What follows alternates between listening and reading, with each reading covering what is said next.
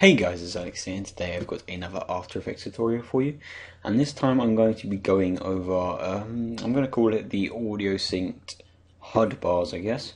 So literally all it is is these small bars down here that follow the uh, HUD and as you, and they are audio reacting to the music. Now it's relatively simple um, and I just thought I'd make a quick tutorial on it because I thought it was quite a neat effect. So I shall get into it. Um, first of all, I'm just going to delete all of these layers because they are what the bars actually are. So we just have our clip. And now all I'm going to do is I'm going to create a new solid. And you could call this uh, audio, oh god, audio bars. Sorry for loud keyboard. Click OK. And uh, God, sorry, I'm just gonna have to drag. I'm just gonna drag this down above my clip wherever it is, uh, which is around here. So, I'll just drag it above there for now, and there we have our black solid. All now what I can do is we can go into the effects and preset sets and type in audio spectrum. So we have audio spectrum here, and we can drag that onto our black solid that we made and as you can see we will get this bar in the middle. Now it's just completely still because we haven't actually selected our audio layer. And we can then go and select our audio layer which mine will be right actually no it's somewhere at the top. Here we go. There's my audio layer bit so you pick your um, soundtrack. And I could you know you can change the color. I'm just going to make this an orange because it will match my color correction I'm working with something a bit like that and then I'll probably make the outside colour slightly lighter colour. So but what I can do is I can click here click on the eyedropper tool and then click on the inside colour and then just make that lighter up to the top there. So now we have our coloured audio bar. Now we want it to follow the HUD so what we can do is we can hide our audio spectrum. Oh, actually no we can actually keep it on but we want to select our pen tool. You can either click on the pen tool or you can select or you can hit G. And we're just going to use and scroll in and then press space to get up our hand and move around. And now I'm going to be masking this bar here because this is where I want my bar to be. So I can make a point I can hold shift and then click and that's going to make it a dead straight line. And I can go up here and I can just use the tools here just to bend it so I haven't actually clicked off of it yet and I'm just using it to manipulate the uh, path into a curve that is going to fit my HUD just like that. So now we have our mask. Now what we can do is we can go into our audio spectrum. Oh good we can now go into our audio spectrum there and then we can click on path and we can make it mask one because we created a mask. And as you can see it follows our mask. And that makes it it's very simple and it's easy to do. And what I like to do also is you can see it's it just suddenly stops. And what I like to do is just to make it fade out slightly. So what we can do is we can make a new layer. And I'm just gonna actually duplicate this black layer. I'm just to delete the spectrum off of it and go hit M and delete the mask. And I'm to hit return and call this um, we could call it track matte just keep it simple. And click OK. And now we can hide this layer.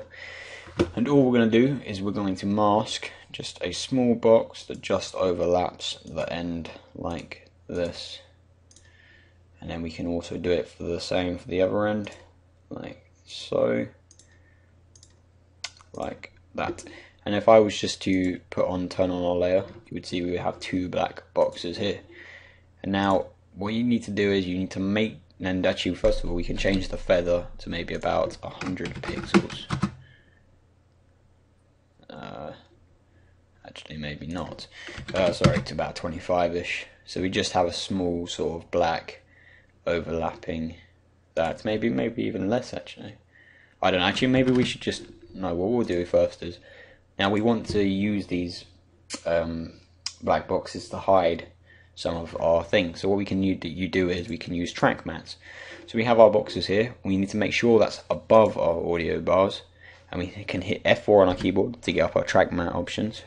And we can make this alpha inverted of the um, of the track matte and as you can see they have disappeared now if we to hit F on our keyboard or on our track matte and we to select both of these what we can do is we can just slowly pull up the feather maybe about 10 and as you can see it feathers it slightly. So I think probably 25 was about right. And as you can see it just fades out a bit more gradually and it just looks a overall cleaner effect in my opinion. And that is basically it. So then you can also do that for I tended to do it for this one as well. So what we can just do is we can just uh, I'll just do it very quickly. So we can duplicate our audio bar. Uh, first of all take off the track matte just like so we can go click M delete the mask. Then we can create a new mask with our pen tool. And hold shift. And then I'm just doing this very quickly and then get a sort of circle. Probably want to move that in a bit. Like so that will do. And we can click go up to our mask make it mask one. So now we have another audio bar and we can delete this track matte layer duplicate sorry and drag that above our other audio bar. And then we can just again mask and then also mask. Then we make our audio bars um, alpha inverted of our track matte. And we can hit F on our keyboard. Select select the oh I've still got the other masks there.